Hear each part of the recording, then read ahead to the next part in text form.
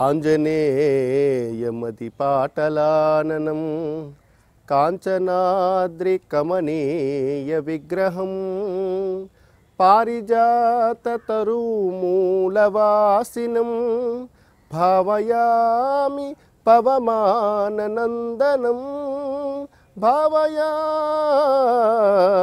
పవమాననందనం.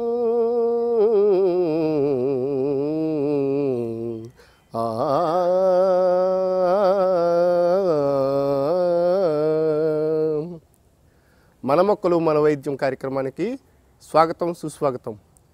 ఈరోజు మనందరికీ చాలా సుపరిచితమైనటువంటి కావ్యపు మొక్క పారిజాతపు మొక్క.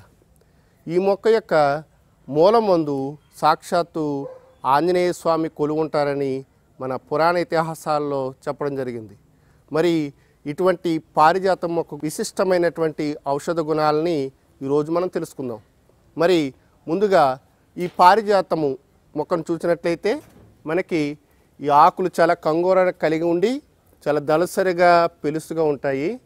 అంతేకాకుండా ఈ పుష్పాన్ని కనుక మనం చూసినట్లయితే చూడండి ఈ పుష్పం యొక్క ఈ మొదల భాగం ఏదైతే ఉందో ఇది ఎర్రగా ఉంది. కాబట్టి దీన్ని సంస్కృతంలో రక్త వృంత అనేటువంటి పేరుతో పిలుస్తుంటారు. మరి ఈ పుష్పం గురించి పారిజాతాపహరణం అనేటువంటి ఒక కావ్యాన్ని మన ముక్కు తిమ్మన్న గారు నంది తిమ్మన్న గారు రాయడం జరిగింది. మరి ఔషధ ఉపయోగాల గురించి ఇప్పుడు మనం తెలుసుకుందాం. ముందుగా దీన్ని వాత నొప్పుల్లో ఏ విధంగా వాడుకోవచ్చు? ముందుగా మనం చేయవలసినటువంటి ప్రత్యేకమైన పని ఏమిటంటే ఈ పారిజాత పాకుల్ని కొన్ని తీసుకుని శుభ్రంగా దంచి దాంట్లో కొద్దిగా ఆవదం వేసి గోరువెచ్చగా చేసుకున్న తర్వాత ఎక్కడైతే వాతపు నొప్పులు ఉంటాయో అంటే మోకాలు నొప్పులు చీలమండలాల నొప్పులు అలాగే భుజాల నొప్పులు ఇటువంటి వాత నొప్పులు ఏవైతే ఉన్నాయో అక్కడ కనుక గోరువెచ్చగా ఉన్నప్పుడు వేసుకున్నట్లయితే వాత నొప్పులు అనేటువంటివి తగ్గుతాయి. చిన్నపిల్లల్లో పారిజాత మొక్కని ఏ విధంగా వాడుకోవచ్చు? అంటే చిన్నపిల్లలకు సంబంధించినటువంటి శ్లాష్మ దగ్గులు వస్తాయి చిన్నపిల్లల్లో కఫం అనేటువంటిది ఎక్కువగా ఉంటుంది.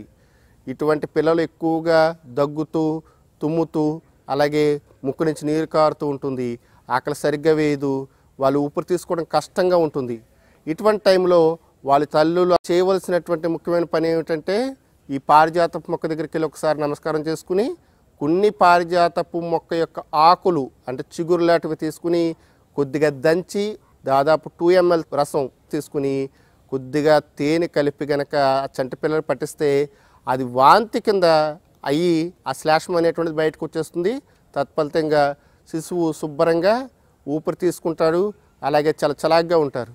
మరి ఇదే దాన్ని చర్మ వ్యాధుల్లో ఏ విధంగా వాడుకోవచ్చు? అంటే ఒక మొక్కని అనేక విధాలుగా అనేక రూపాల్లో మనం వాడుకోవచ్చు. మరి చర్మ వ్యాధుల్లో వాడుకున్నప్పుడు అంటే గజ్జి చిడుము తామర ఇటువంటి ఉన్నప్పుడు ఏం చేయాలంటే ఈ మొక్కను చూడండి ఒక్కసారి.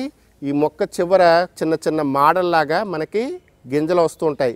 ఈ గింజలు శుభ్రంగా మార్చుకుని పౌడర్ చేసుకున్నట్టు మసిలా చేసుకుని కొద్దిగా ఆత్కర్పూరం కలుపుకుని తర్వాత కొద్దిగా కొబ్బరి నూనె కూడా కలుపుకుని ఎక్కడైతే చిడుము తామర గజ్జి లాంటి చర్మ వ్యాధులు వస్తాయో అక్కడ పైన ఇలా లేపనం చేసినట్లయితే కొన్ని రోజుల్లోనే అద్భుతంగా మనకి యాంటీబయాటిక్ కింద పనిచేస్తుంది.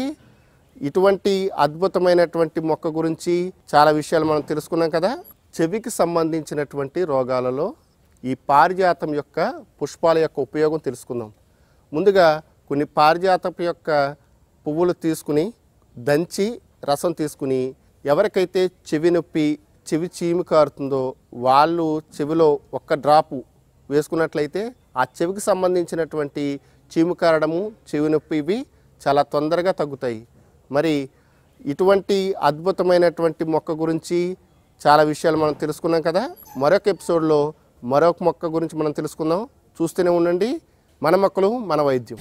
ఈ వీడియో మీకు నచ్చినట్లయితే లైక్ ఆర్ షేర్ చేయండి. మరిన్ని ఆధ్యాత్మిక సనాతన కార్యక్రమాల కోసం మా ఛానల్ సబ్స్క్రైబ్ చేసుకోండి.